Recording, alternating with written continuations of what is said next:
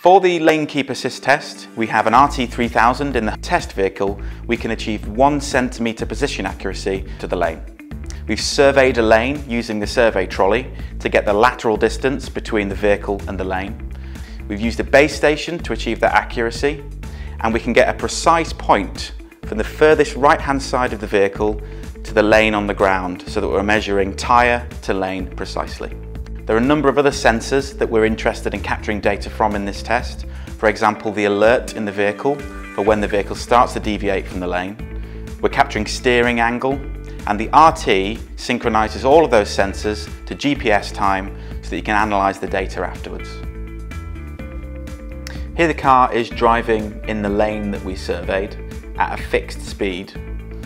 When it starts to drift, the system will counter the maneuver to keep the car within the centre of the lane.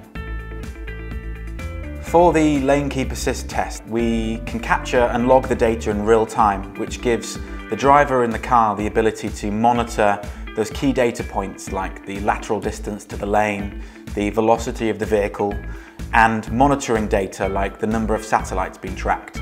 That's all been logged in real time and they can check that as they're driving. Then when we get back into the office, OXTS data is outputted in a number of formats from the CAN interface through to um, Ethernet and you can export data to a CSV format. Because we're collecting sensor data from a number of different inputs, we need the ability to snip the data, to cut down the data to only the really important data points that we're interested in.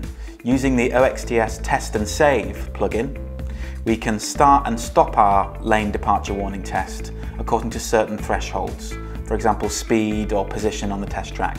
That means when you get back to the office and you're analysing the data, you're not wasting time looking at data that you don't really need. Development teams at automotive manufacturers and test facilities all around the world use RT Range as the validation tool for lane keep assist technology.